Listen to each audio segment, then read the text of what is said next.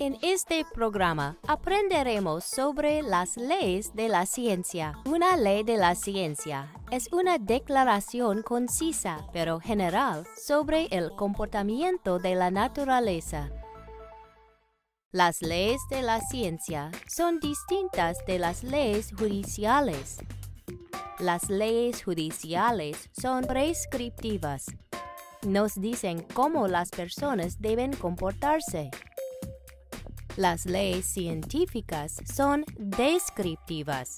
Nos dicen cómo la naturaleza se comporta.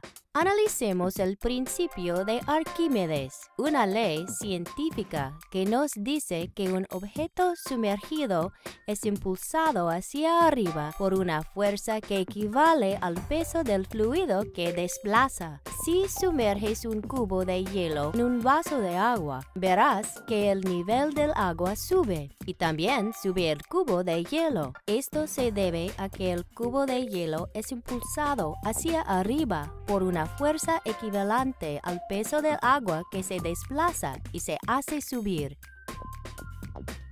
Para que una declaración pueda clasificarse como ley de la ciencia, debe comprobarse que es válida experimentalmente en una amplia gama de fenómenos observables. Por ejemplo, los barcos de metal flotan porque tienen una cantidad suficiente de espacio libre, gracias al cual su densidad es menor que la densidad del agua, el principio de Arquímedes. Y los globos aerostáticos vuelan porque su densidad promedio es menor que la densidad del aire que los rodea. Aquí también vemos al principio de Arquímedes en acción. El principio de Arquímedes es una ley de la ciencia. Describe el comportamiento de la naturaleza dentro de un conjunto específico de circunstancias, independientemente de las variables. Es posible que una ley tome la forma de una relación o ecuación entre las cantidades.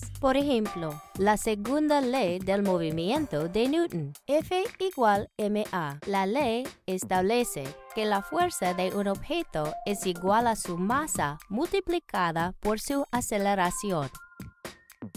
Una ley de la ciencia es una declaración concisa pero general sobre el comportamiento de la naturaleza. Debe continuar siendo válida experimentalmente en una amplia gama de fenómenos observados.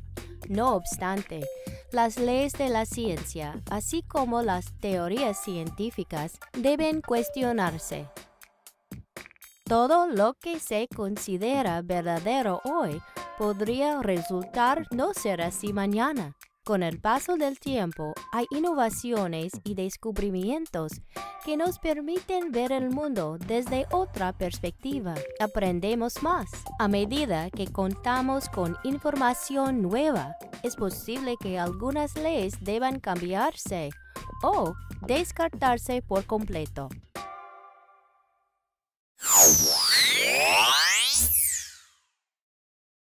Ahora que sabes más sobre las leyes de la ciencia, reflexiona sobre esto. ¿Qué tipo de evidencia se necesitaría para cambiar una ley de la ciencia?